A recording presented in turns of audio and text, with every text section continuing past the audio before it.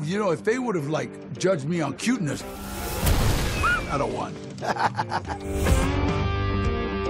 Oh my goodness! Danny Trejo! I am now a raccoon. It is like a complete transformation the minute you put that on. It's like a lot of actors like to stay in character. Well, all my movies are prisons or bad guys, and I don't like staying in that character. But this was just like fun. And it was like, man, I was the cutest raccoon in the world.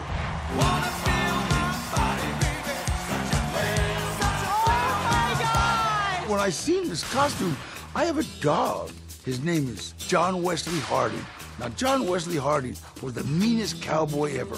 Once shot a man for snoring too loud. And my dog looks just like that. You know what? I've got over 350 credits on IMDb, and I gotta say, this is, you know, one of the top three. It was just so much fun. Where's he going? Oh, oh wait, raccoon. Hey!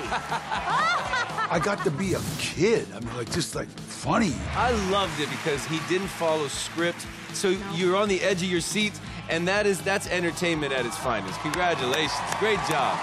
you know, working with the coaches and the, the choreographer, they knew, you know, I wasn't like a trained singer. So they made it really easy for me. You know, it's like, okay, one, two, three, four, five. Wow, thing. You make my heart, you know, so it's like, oh, okay, I can do that.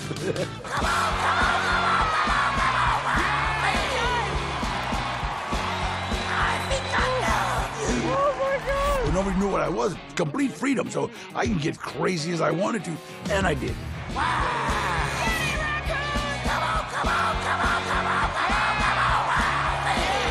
was rocking harder than Steven Tyler.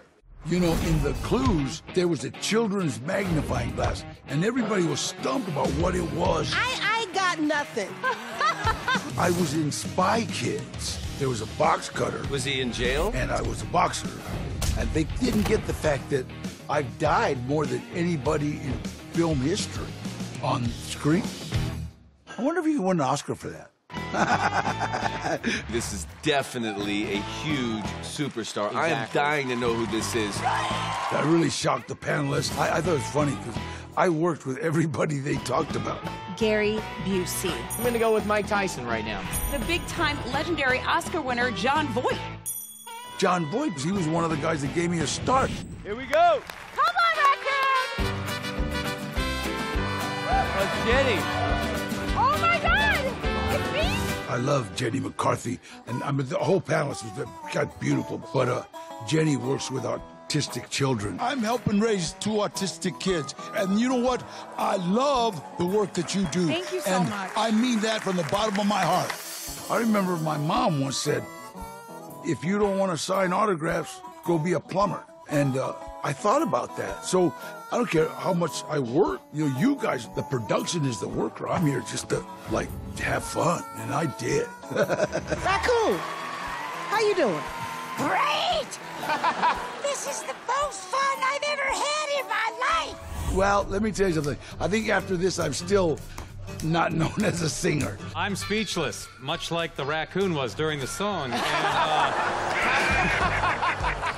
But I had so much fun singing, and I think singing is one of the things that makes this such a happy place. Go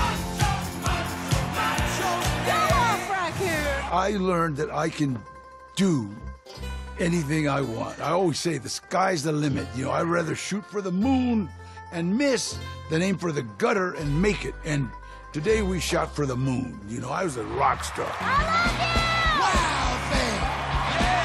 Shake it, shake it, shake it! Hey, listen, raccoon. Me and you are gonna have a long, long relationship. Because basically, I think you are cooler than anybody out there, really. And uh, you're so damn cute. And I'll be seeing you again. Kiss on the nose.